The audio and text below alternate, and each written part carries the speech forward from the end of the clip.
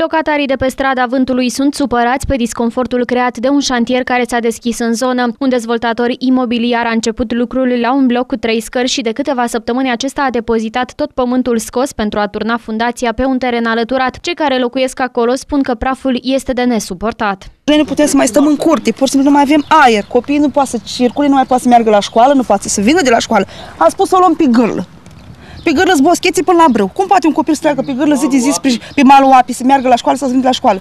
Noi nu vă mai zic de mașină, mașina trebuie să spălăm în fiecare zi ca să fie curată.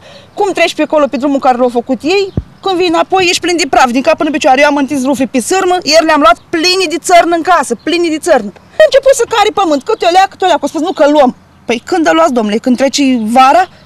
Uh-huh. Ce fac copiii vara asta? Eu am piscină, unde pune piscină la copii să bălăcească vara asta? Ce fac cu ei? Trimit malul gârlii? Suntem conștienți vor să facă, să modernizeze, suntem de acord cu modernizarea care vă să facă la noi pe stradă. Nu zicem nu. Că este normal să ne modernizăm și noi, dar să ne, să ne, să ne facă și noi condiții adecvate, de trai, nu? Că suntem și noi oameni, suntem și noi, avem și noi drepturi ca fiecare om. Eu așa consider. Cel puțin cât se desfășoară șantierul, așa ar fi cât normal. se desfășoară șantierul, este normal ca noi să stăm civilizați. Să, nu, ce vrem să facem? Să vindem, să fugim de aici? Asta vrea să facă? Cu noi nu înțeleg. În plus, copiii se joacă de multe ori nesupravegheați în apropiere, motiv de îngrijorare pentru părinți. Să urc copiii tot mai sus, să, să, să joacă copiii acolo și poate să anunecă, poate să rupă un picior, poate să se întâmplă ceva. Vă spus că nu interesează, când termină lucrarea o să pune niște un gard de protecție, ta spune de 5-6 zile, ta nu pune nimica. Este un strat foarte mare pe drumul principal care îl fac ei, este un strat foarte mare de praf. Vă spus că pune motopompă și vrea să stropească, ta de câteva zile uh-huh. nu stropește, nu face absolut nimic. Nu le interesează de persoanele noastre. Uh-huh. Parcă suntem... Ai nimănui. Da.